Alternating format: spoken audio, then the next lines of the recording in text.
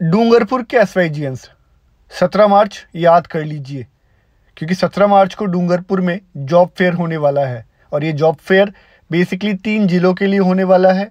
इसका एक वीडियो मैं ऑलरेडी अपलोड कर चुका हूँ, वो वीडियो जो है आप ज़रूर देखें, उसका लिंक नीचे डिस्क्रिप्शन में है। इस वीडियो के अंदर हम डूंगरपुर जॉब फेयर के बारे में और उसमें रजिस्ट्रेशन कैसे करना है, उसके बारे में जानने वाले हैं। आप सभी का स्किल्ड यूथ गुरुकुल के इस एपिसोड में स्वागत है।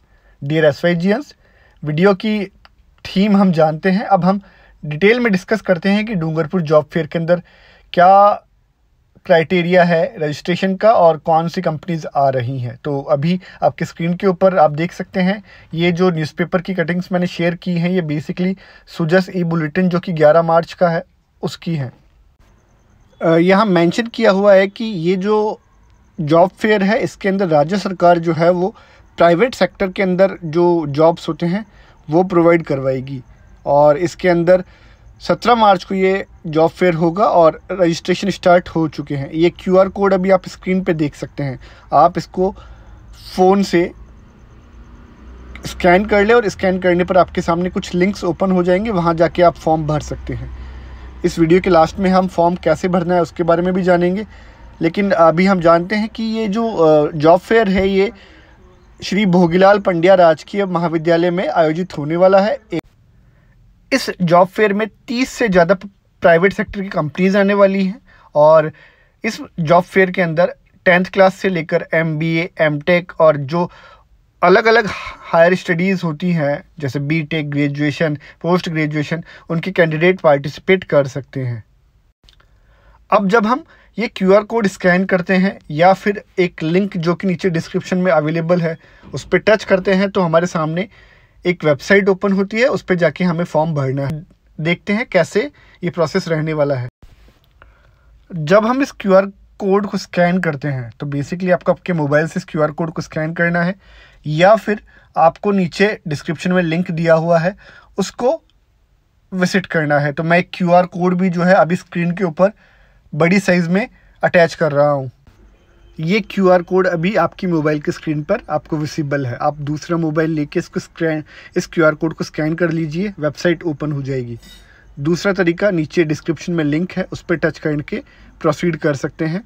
वहाँ पे भी आप ये ऑनलाइन फॉर्म भर सकते हैं। आइए जब हम इस क्यू आर कोड को स्कैन करते हैं या फिर नीचे डिस्क्रिप्शन में दी हुई वेबसाइट को टच करते हैं तो हमारे सामने ये इंटरफेस ओपन होती है। यहाँ लिखा हुआ है, रोज़गार मेला 2023 जिला प्रशासन डूंगरपुर, दिनांक 17 मार्च 2023 इसके अंदर आपको अगर आप ऑलरेडी रजिस्टर्ड है तो ऊपर अपना जो भी रजिस्ट्रेशन नंबर है या मोबाइल नंबर है, वो सबमिट कर सकते हैं। लेकिन अगर आपको नया रजिस्ट्रेशन करना है और इससे पहले आपने रजिस्ट्रेशन नहीं किया है तो आपको नीचे जो ये रजिस्ट्रेशन करे, आवेदनकर्ता प्रार्थी इस पर टच करना है।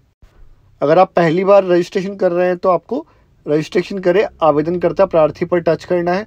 टच करने पर हमारे सामने ये इंटरफेस ओपन होता है। यहाँ लिखा हुआ है, दिनांक सत्रह तीन दो हज़ार तेईस शुक्रवार को एस बी पी राजकीय कॉलेज डूंगरपुर के खेल मैदान पर आयोजित होने वाले एक दिवसीय कौशल, रोज़गार एवं उद्यमिता मेला। 2023 में उपस्थित होने वाले अभ्यर्थियों द्वारा स्वयं को पंजीकृत किए जाने का प्रारूप। सबसे पहले आपको आपका नाम लिखना है, फिर फादर्स नेम लिखना है, फिर डेट ऑफ़ बर्थ लिखनी है, उसके बाद एड्रेस लिखना है। आपकी सिटी लिखनी है और आपकी क्वालिफ़िकेशन। ध्यान रखिएगा, क्वालिफ़िकेशन आपको हाईएस्ट क्वालिफ़िकेशन लिखनी है, जो आपने सबसे हाईएस्ट डिग्री कर रखी है या डिप्लोमा कर रखा है, या एम बी एम टेक जो भी आपने डिग्री की हुई है, वो या डिप्लोमा जो किया हुआ है, वो मेंशन करना है। उसके बाद आपको जेंडर मेंशन करना है और आपका एम्प्लॉयमेंट रजिस्ट्रेशन नंबर मेंशन करना है। तो यहाँ पर ये एम्प्लॉयमेंट रजिस्ट्रेशन नंबर जो है वो अगर आप पहले रजिस्टर कर चुके हैं तो वो भर देना है, नहीं तो आपको दोबारा से मिलेगा। आई थिंक अगर अभी आपके पास एम्प्लॉयमेंट रजिस्ट्रेशन नंबर नहीं है तो एक बार आप जब सबमिट कर देंगे तो दोबारा से रजिस्ट्रेशन कर दोबारा से लॉगिन करके, जो कि सबसे पहला ऑप्शन दिया हुआ था, जब आपने ये फॉर्म भरना शुरू किया था, वहाँ पर आपका रजिस्ट्रेशन नंबर डाल के या मोबाइल नंबर डाल के आइएगा और वापस आकर इस एम्प्लॉयमेंट रजिस्ट्रेशन नंबर को भर दीजिएगा। उसके बाद आपका जॉब रिक्वायर्ड है। यहाँ तीन प्रायोरिटी पूछी गई है आपसे। तीन प्रायोरिटी मतलब आपको किस तरीके का जॉब चाहिए? तो आप इन प्रायोरिटी के अंदर आपका अगर क्लैरिकल ऑटोमोबाइल, मेडिकल, ऐसे अगर कुछ कंपनीज़ है, उस अकॉर्डिंग आपको जो चॉइस ऑफ़ प्रेफरेंस है। जैसे आपको क्लरिकल का जॉब करना है तो वो फ़र्स्ट प्रेफरेंस नीचे फिर आप सेकंड प्रेफरेंस और थर्ड प्रेफरेंस ऐसा करके तीन अलग अलग प्राथमिकताएँ आप जिस क्षेत्र में, जिस फ़ील्ड में जॉब करना चाहते हैं, वो दे सकते हैं। और ये प्राथमिकताएँ आप यहाँ जो ये सेलेक्ट टाइप है, इस पर टच करके नीचे चूज़ कर सकते हैं। आपके पास में अलग अलग ऑप्शन होंगे तो तीन प्राथमिकताएँ आप दे सकते हैं। उसके बाद अगर आप एक्सपीरियंसड है तो आप अपना वर्क एक्सपीरियंस यहाँ अलग जो दिया हुआ है, उसमें मेंशन करेंगे, फिर नीचे मोबाइल नंबर फ़ीड करेंगे, उसके बाद ईमेल एड्रेस भर देंगे और सबमिट पे या रजिस्ट्रेशन पे क्लिक कर देंगे।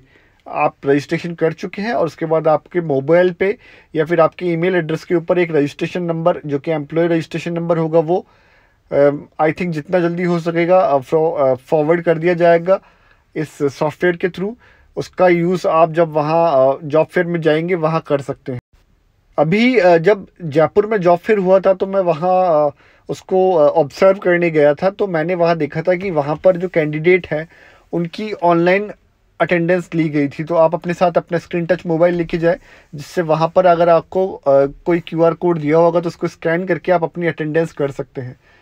जयपुर के अंदर आप जहाँ तक मुझे आइडिया जयपुर के अंदर जो जॉब फेयर हुआ था, उसके अंदर किसी भी दिन कोई भी कैंडिडेट जा सकता है, लेकिन अगर एक बार अटेंडेंस कर दी है तो उसी दिन फिर उसे इंटरव्यू में अपियर होना है। अब डॉक्यूमेंट्स क्या लेके जाने हैं? तो कैंडिडेट्स को अब एक ओरिजिनल आधार कार्ड लेकर जाना है, और अपने टेंथ क्लास और साथ में उससे ऊपर की सभी ओरिजिनल डॉक्यूमेंट्स लेके जानी है, और उन सभी की दो दो या तीन तीन छाया प्रति आप अपने साथ ले जाना जैरोक्स आप अपने साथ फ़ोटो कॉपी ज़रूर लेके जाना।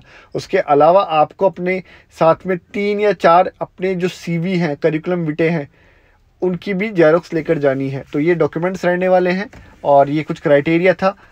इस वीडियो में इतना ही और अगर आपकी कोई डाउट होती है, अगर आपका कोई डाउट होता है तो आप कमेंट में पूछ लीजिएगा। Thank you so much for watching this video हमारे सभी एस जो इस जॉब फेयर में अपीयर होने वाले हैं, उन सभी के लिए शुभकामनाएँ। मिलते हैं नेक्स्ट किस इन्फॉर्मेटिव वीडियो में।